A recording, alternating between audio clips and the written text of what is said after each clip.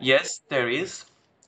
Uh, of course, uh, the growing uh, woman's age can bring uh, other other issues which can interfere with the success rate of uh, fertility treatment, even with donor eggs, which means that uh, the woman can be after surgeries, the quality of the endometrium could be lower. So yes, with growing woman's age, even the success rate of egg donation uh, could uh, go down.